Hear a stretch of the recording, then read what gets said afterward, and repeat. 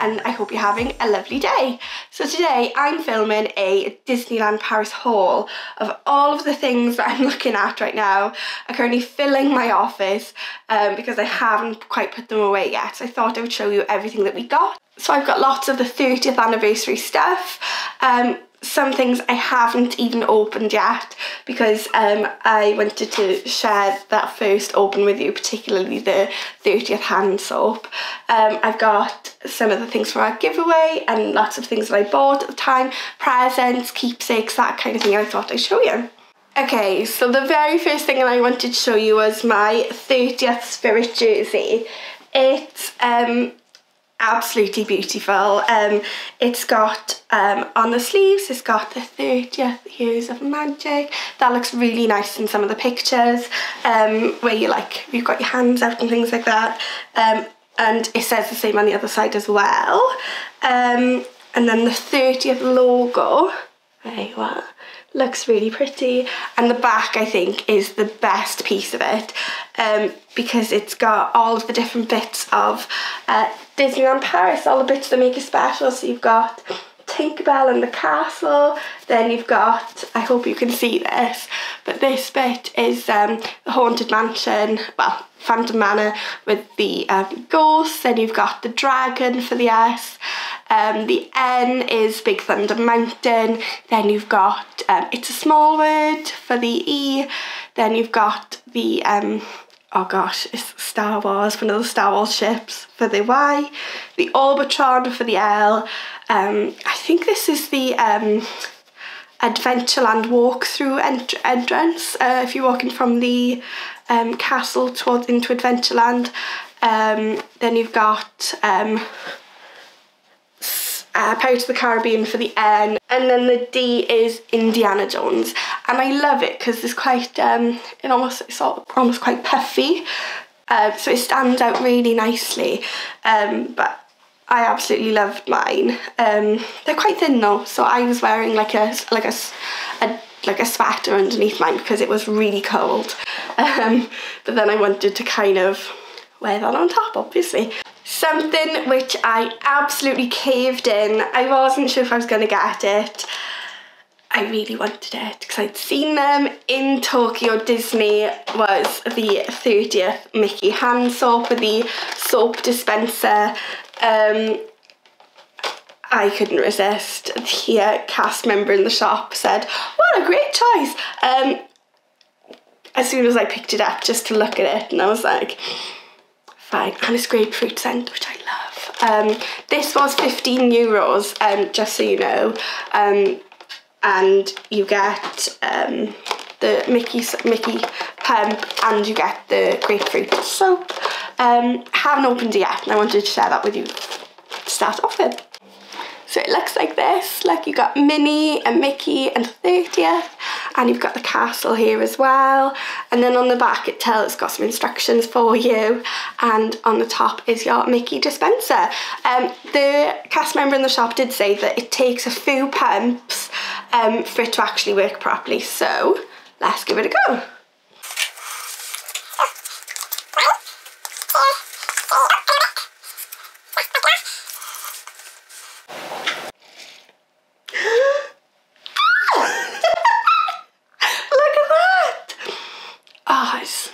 Really good. And look, it's the perfect little Mickey. Do you reckon we can make a Mickey hand? That's incredible. Um, if anyone knows of um, the refill, whatever the soap is called, how like what type of soap it is to get this refilled because I'm never not having Mickey hand soap from now on. all clean. Um, oh, my hands smell so good. They feel so soft. Anyway, let's move on. Um, the next 30th merch which I got were for the giveaway. Um, so I got the Mickey mini ears, Mickey ears. Are they mini ears if they've got a bow? And they're Mickey ears if they don't? I'm a little bit stuck, so please let me know in the comments again. Mini ears if they've got a bow, right? Um, but these are so sparkly. Oh, they're so pretty. Um, the only thing that I would have said in the shop was that um, the bows on some of them got damaged in transit. Um, and so I kind of spent a good five, ten minutes looking for a pair that weren't damaged. Um, but otherwise they're absolutely beautiful. And these were 23 euros if you'd like a pair of these. The next thing that I got was for the giveaway. It was the uh, the Mickey um, 30th pin. Um, I've got, I bought this one for the giveaway and then I've got one for my lanyard. This one, the 30th with the, come on, focus. There you are, the 30th with the dangly. It was just so pretty that I wanted one too, but I wanted the castle one. Um, these were the yellow um, colour pins.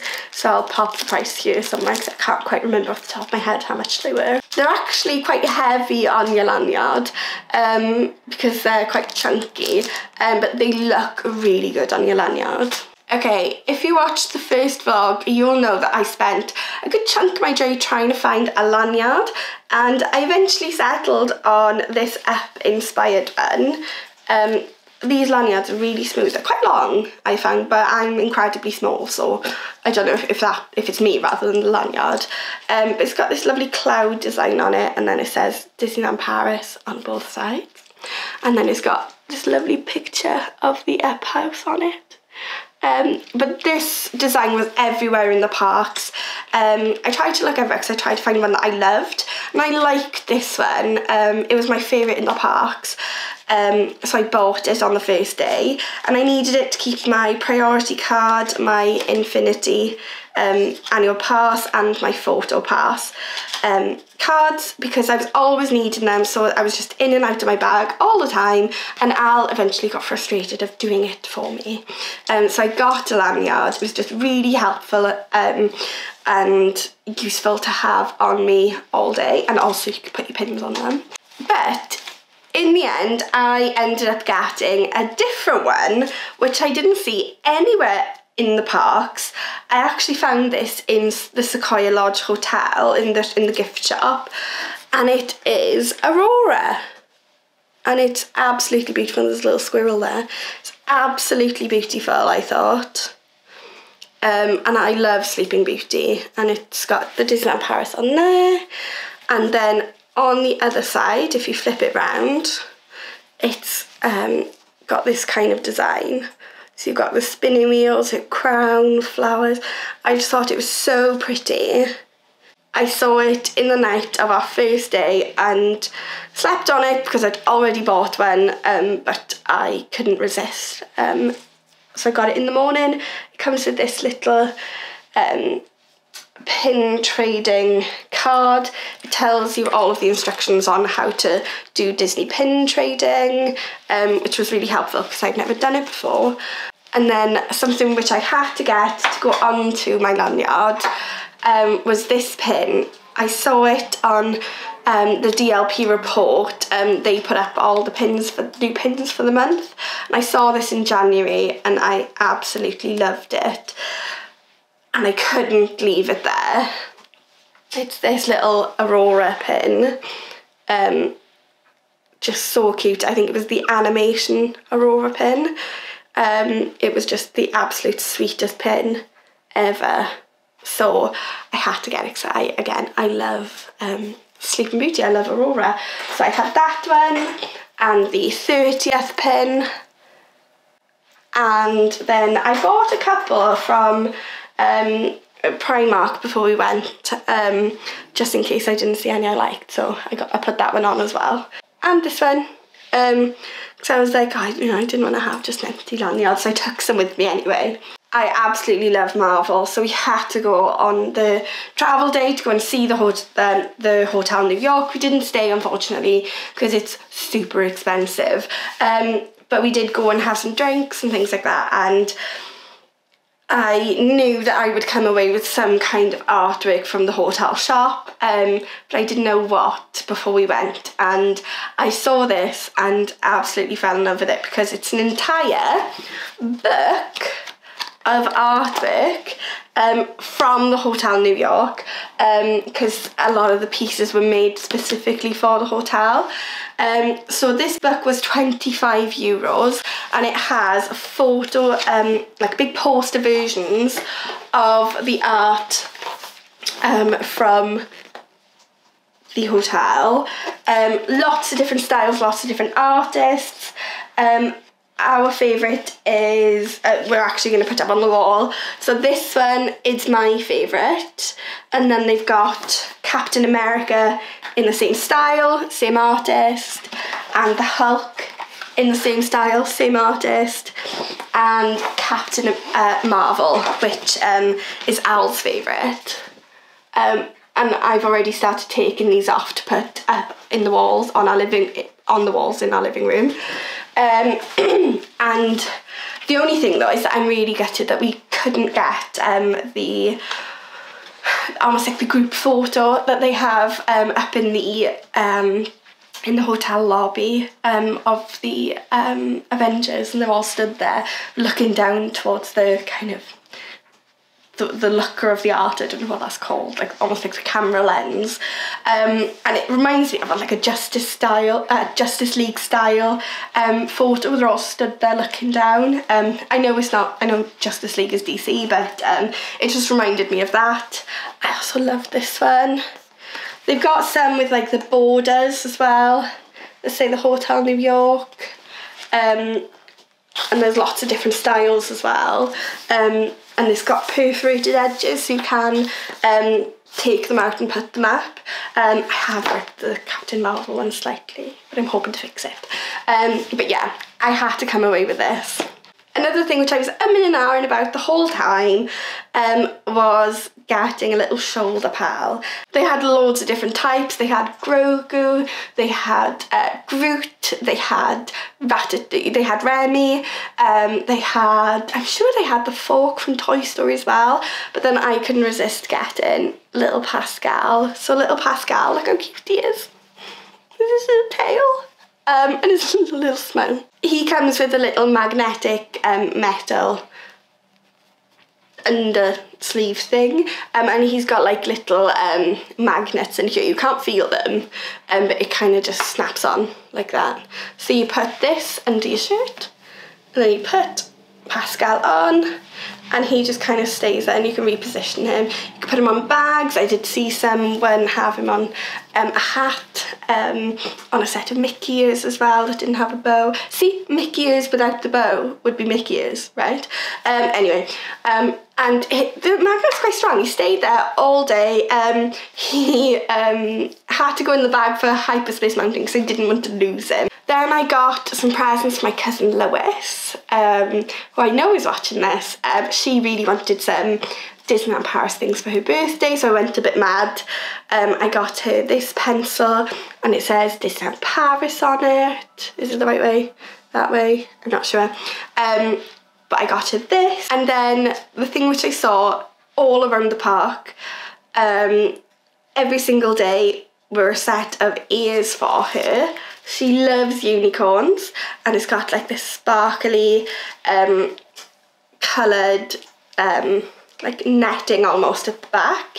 And it's got a unicorn horn, it's got a bow, and this bit I know she's going to love is that the ears are two-way. So this way, they can be pink, and then this way, they can be purple. And she can decorate them however she wants. These were very popular in the park. Um, I can't wait to give these to her. I also got her her own little mini pin because I know that she wears a, um, a lanyard to school and Minnie is in a unicorn onesie and I know she's absolutely going to die when she sees this. She's going to love it.